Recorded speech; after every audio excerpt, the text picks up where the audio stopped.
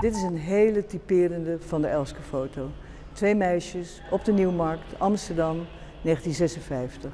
Tweelingsmeiden of, of zusjes in, in ieder geval. Die zwierven rond, heel uitdagend tegenover mannen. Teasing. en wouden er zogenaamd niks van weten.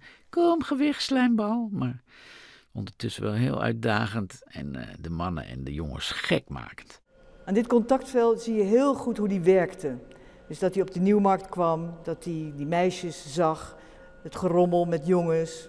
Hij daagde ze uit, hij fotografeerde ze een keer, liet ze los van de groep, fotografeerde ze in de groep, om uiteindelijk uit te komen bij die ene foto die we dan kennen als de tweelingzusjes op de Nieuwmarkt. Nou, in die tijd dat hij die meisjes fotografeerde, maakte hij vaak reportages met Jan Vrijman. Onder andere een reeks artikelen in Vrij Nederland over nozems. Die term nozem was gemunt door Jan Vrijman. Je ziet hier een aantekenboekje uit Edson Agenda. En er staat in met Vrijman. Als je jong bent, rellen, provo's, vrije, keetschoppen, rommelen, dansen, muziek.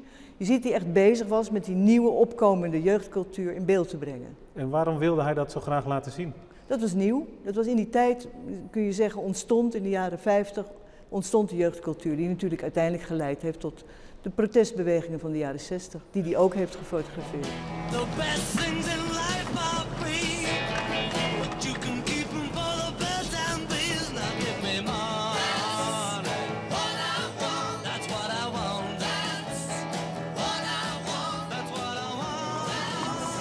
Mag ik een mooie man. Mag ik een foto van je maken? Een foto van je maken? Ah, ik heb die dingen in het zien.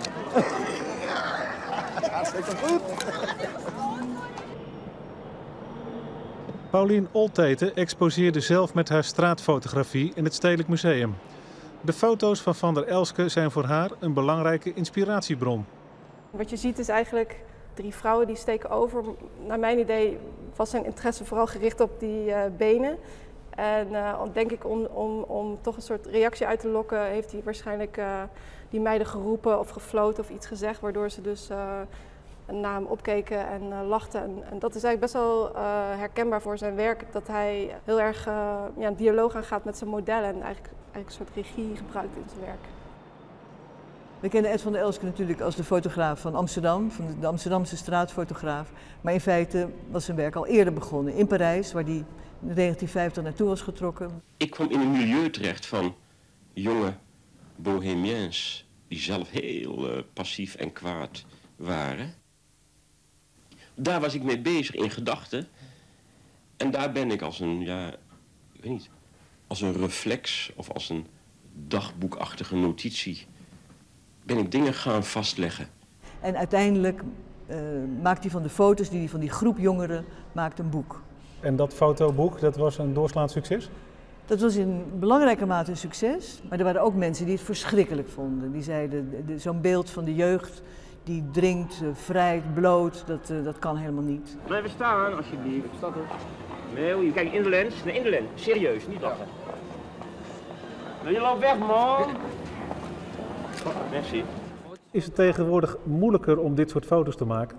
Vroeger, eh, als mensen een camera hadden, dan reageerden mensen daar heel positief op en voelden zich vereerd. En nu eh, krijg ik de indruk dat als ik bijvoorbeeld een foto maak, dat ik eh, mensen soms lastig val. Of, eh, eh, en, da- en dat zorgt er eigenlijk voor dat ik minder foto's maak. Dus dat ik alleen maar eh, mijn camera pak als ik echt denk, eh, ja, nu, nu, nu ben ik zo overtuigd, nu, nu ga ik er gewoon voor.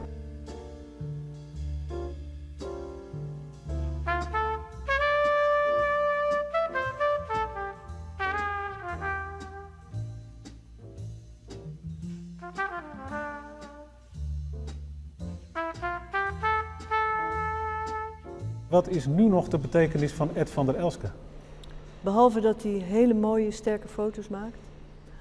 Als je kijkt naar deze foto, gemaakt in 1960 op een wereldreis, dan zie je dat hij, zoals hij zelf zei, op zoek was naar mijn soort mensen, naar zijn soort mensen. En dat waren geen mooie mensen in de klassieke zin, maar dat waren mensen die voor zijn gevoel iets uitstraalden. En hier zijn het mensen die liefde uitstralen, maar die verder heel gewoon zijn. Dat is een heel belangrijke kwaliteit van zijn werk, dat hij dat kon zien. Dat hij de echtheid van hele gewone mensen kon zien en daar mooie, sterke foto's van maakte.